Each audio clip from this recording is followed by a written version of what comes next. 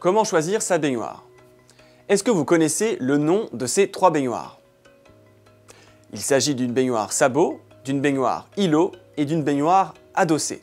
Aujourd'hui, on va faire un petit tour d'horizon de toutes les baignoires qui existent sur le marché pour vous aider à choisir la vôtre en fonction de vos besoins et de votre salle de bain. J'ai pu répertorier 8 types de baignoires. Je vais vous les lister en vous présentant les avantages et les inconvénients de chacune. Vous êtes prêts? Allez, c'est parti Premier type de baignoire, la baignoire adossée. C'est la baignoire classique, adossée sur 1, 2, voire 3 murs. Elle a l'avantage de s'adapter à quasiment toutes les configurations de salle de bain. Vous pourrez trouver un large choix au niveau du design et des dimensions.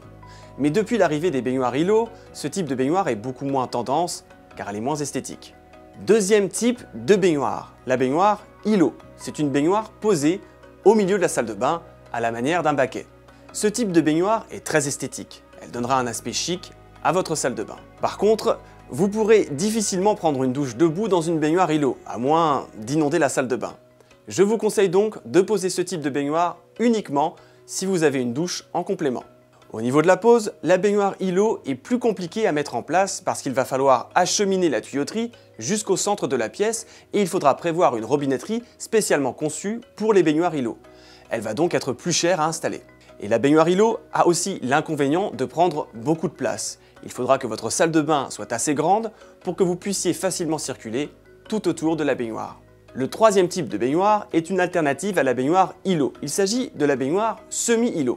La baignoire semi-îlot a l'avantage d'avoir l'esthétique de la baignoire îlot sans ses contraintes d'installation puisque sa robinetterie va pouvoir être posée contre le mur.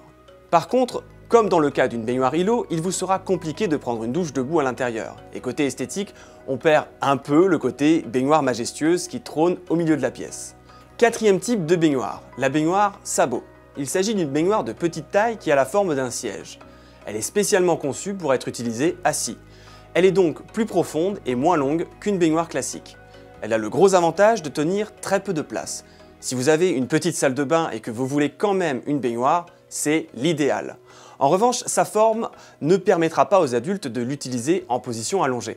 Cinquième type de baignoire, la baignoire avec porte. Il s'agit d'une baignoire que vous n'aurez pas besoin d'enjamber pour entrer dedans, puisqu'elle possède une porte.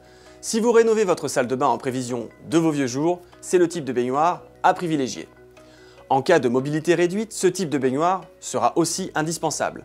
Sa forme vous permettra normalement d'y prendre aussi bien des bains des douches. Elle peut donc facilement remplacer une douche si vous n'avez pas la possibilité d'installer une douche à l'italienne. En revanche, la baignoire avec porte sera plus onéreuse qu'une baignoire classique. Sixième type de baignoire, la baignoire balnéo.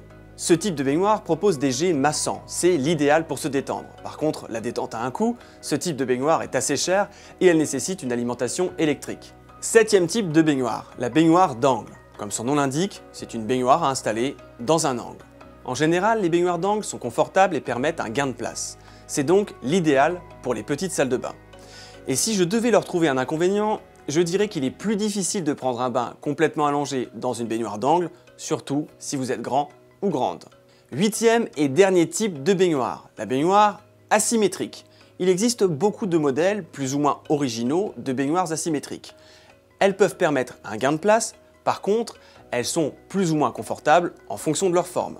J'espère que vous y voyez plus clair au niveau des différents types de baignoires. Une fois que vous aurez choisi le type de baignoire que vous voulez, il va falloir que vous choisissiez les bonnes dimensions.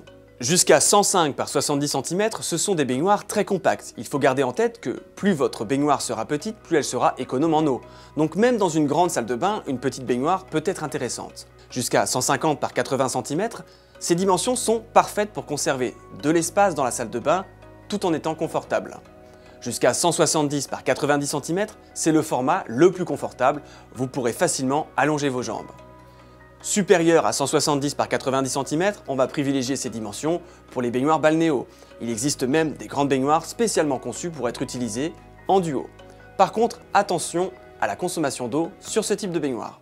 Maintenant, il va falloir choisir le matériau de votre baignoire. Je vais vous en présenter 5. La fonte, l'acier émaillé, le maillage acrylique fibre de verre, l'acrylique seul et la résine de polyester. Premièrement, la fonte.